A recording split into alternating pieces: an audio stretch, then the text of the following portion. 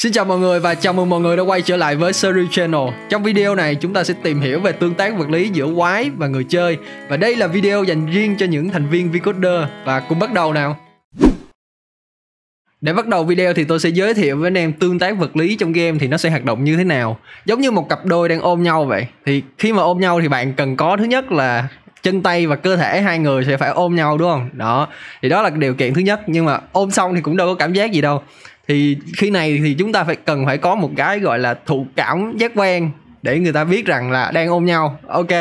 Thì trong tương tác vật lý trong game thì nó cũng giống như vậy. Đầu tiên là khi mà bạn muốn hai cái vật nó tương tác vật lý với nhau thì đầu tiên bạn phải có hai cái vật này cơ thể của nó. Thì cái hình này uh, nhiều bạn sẽ nhầm tưởng rằng cái hình của chúng ta cái hình của con nhân vật ấy là cái uh, thực thể của nó nhưng mà không phải nhé. Thì cái thực thể của một cái nhân cái nhân vật hoặc là một cái vật thể trong game thì nó sẽ được quản lý bởi cái circle collider. Nói chung là nó được quản lý bằng collider anh em nhé. Thì ờ, collider này có rất nhiều loại collider như là circle collider hoặc là rectangle collider square collider gì đó. À, nói chung là nó chỉ là cái cái hình dạng thôi nhưng mà chung quy lại nó sẽ được quản lý bằng collider là cái thực thể của nhân vật ha. Ok và đây anh em có thể thấy là à, bây giờ chúng ta có hai cái thực thể là người chơi và con quái chúng ta. Thì mỗi cái vật này đều có một cái vòng tròn xung quanh nó là cái collider của nó là giống như là một cái cơ thể của nó ha. Và cái thứ hai à, giống như hồi nãy tôi giới thiệu với anh em đó là khi mà ôm nhau thì đâu có cảm giác gì đâu. Nhưng mà nó sẽ phải cần một cái giác quan nào đó để cảm nhận cái đó. Thì trong Unity à, chúng ta sẽ phải cần một trong hai thực thể sẽ phải cần có cái rigid body 2D là cái này sẽ quản lý cái vật lý trong game anh em nhé. Thật ra anh em không cần quá quan tâm về nó chỉ cần thêm nó vào là được.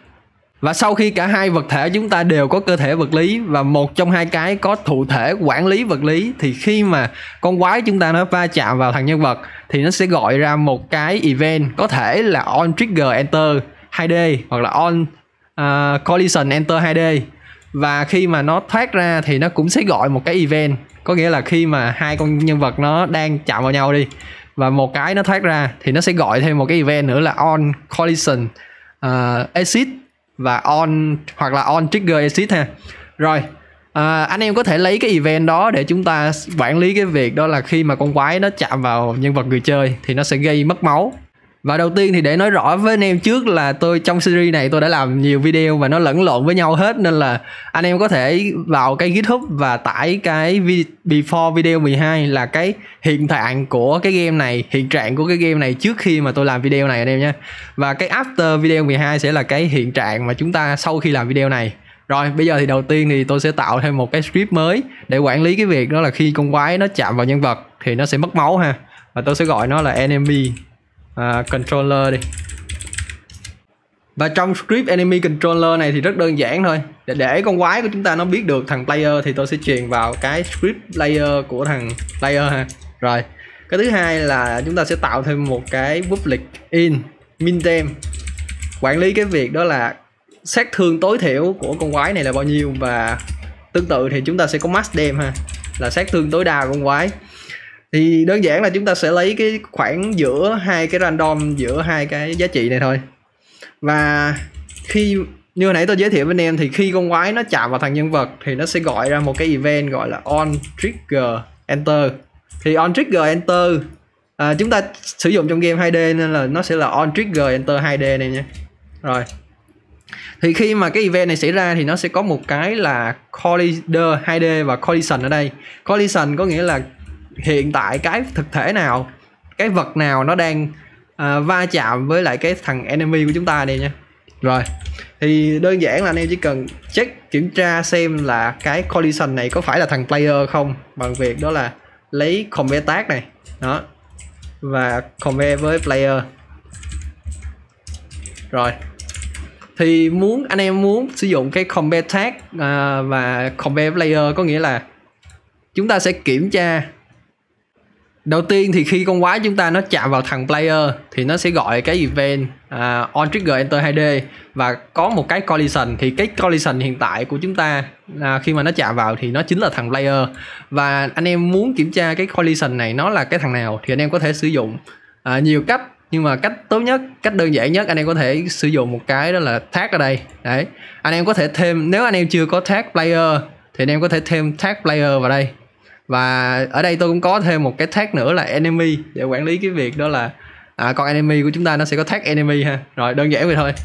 Thì sau khi mà kiểm tra à, đây chính là thằng player rồi thì đơn giản là anh em chỉ cần việc đó là à, à tôi sẽ gọi đây là player script đi cho nó để dễ.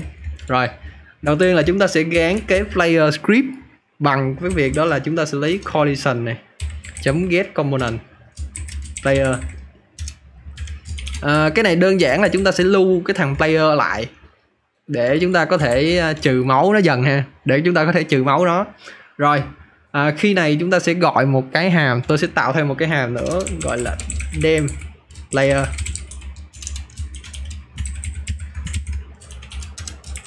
Rồi thì trong cái hàm dem player này đầu tiên chúng ta sẽ lấy uh, sát thương. Chúng ta sẽ random cái lượng sát thương trước. Unity and scene chấm random chấm ran và tôi sẽ truyền hai cái giá trị min name và max name vào đây. Đó. Đơn giản thì trong cái hào này chúng ta sẽ lấy cái giá trị uh, ngẫu nhiên giữa cái à, uh, sát thương tối thiểu và sát thương tối đa này nha. Và sau khi chúng ta đã có cái lượng sát thương mà tính toán gọi là ngẫu nhiên rồi thì tôi sẽ gọi cái hàm player script này. Chấm text đem thì hiện tại chúng ta chưa có hàm thách đêm chúng ta một xíu nữa tôi sẽ quay lại cái phần này sau đây nhé mà cứ để đây trước để chúng ta biết là à, ở đây chúng ta sẽ phải gây sát thương cho thằng player đơn giản vậy thôi. Rồi thì à, trong cái player script này à, anh em có thể gọi trực tiếp cái đem player ở đây luôn. Đó không sao cả.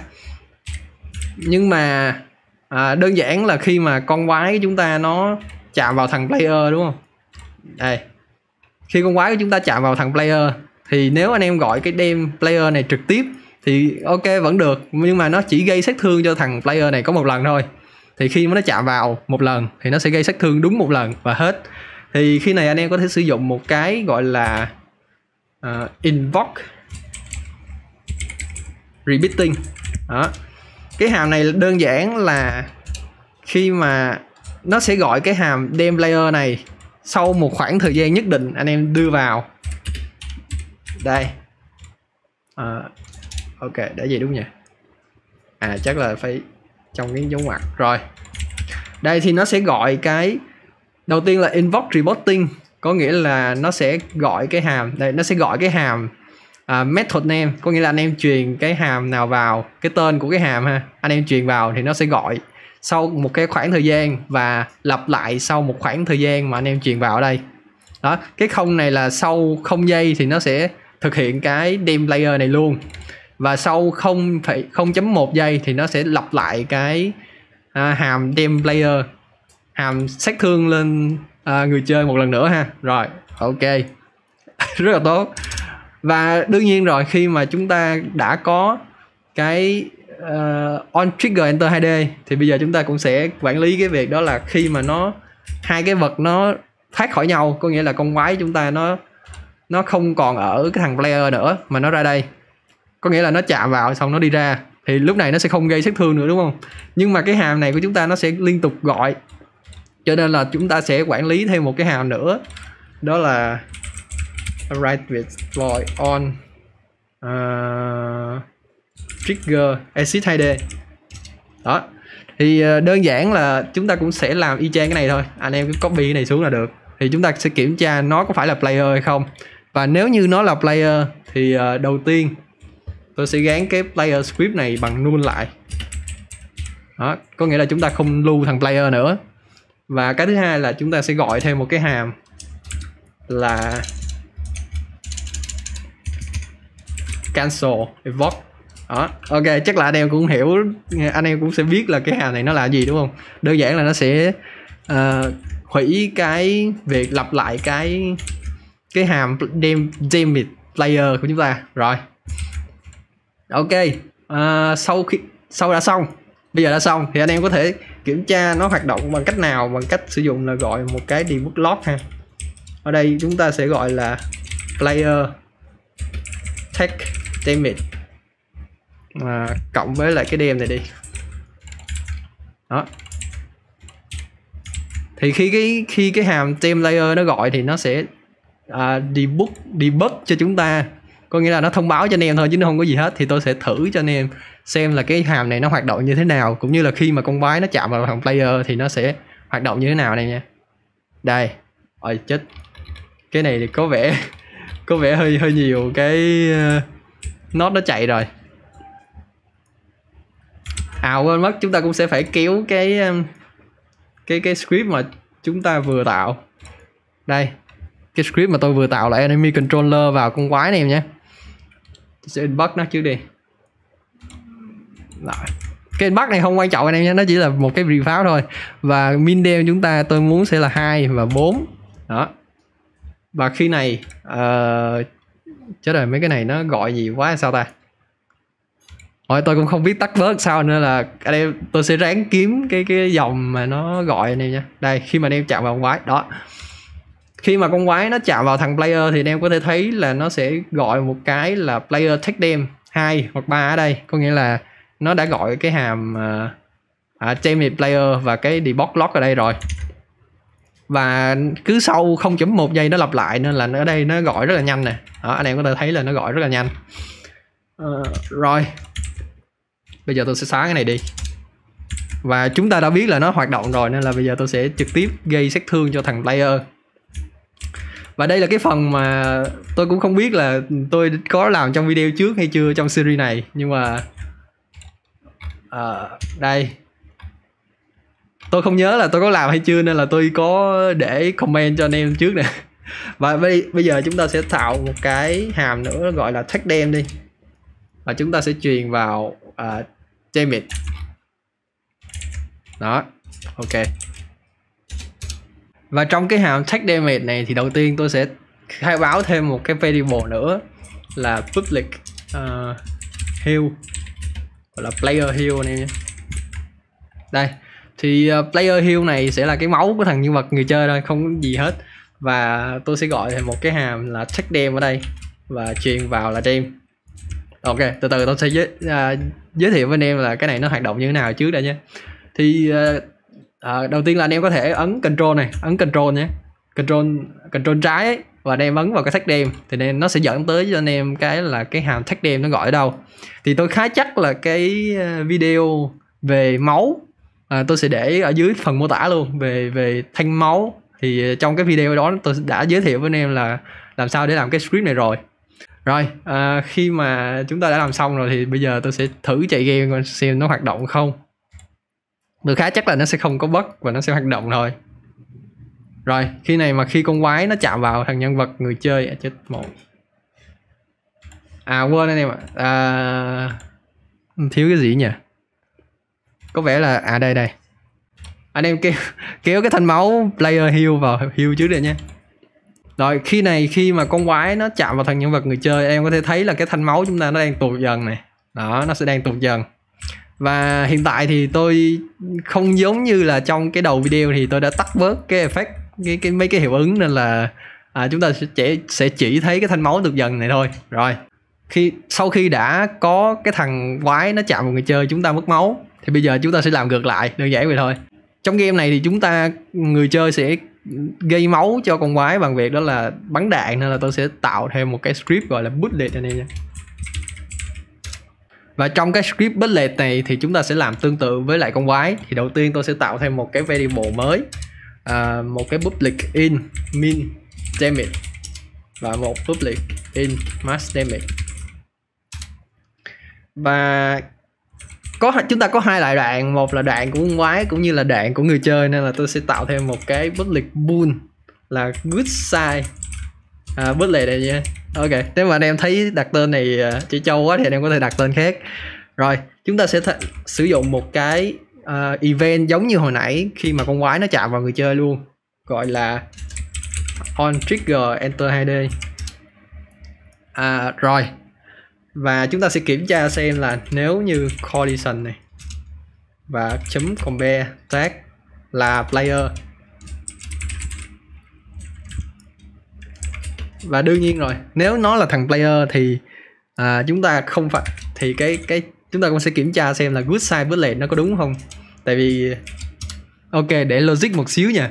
Nếu nó là thằng player và cái đạn bắn ra không phải là không phải là phe tốt có nghĩa là từ à, con quái đi thì à, ok chắc là đúng rồi đó. À, nếu nó là player và đạn bắn là từ con quái thì chúng ta sẽ mất máu của thằng người chơi nó, nó hơi rối vậy. Rồi. À, tiếp theo thì chúng ta sẽ lấy cái random này chấm brand min name max name. Rồi rất đơn giản. Giống y chang hồi nãy luôn. À, call it. tiếp theo sau khi đã có sát thương rồi chúng ta sẽ lấy cái component.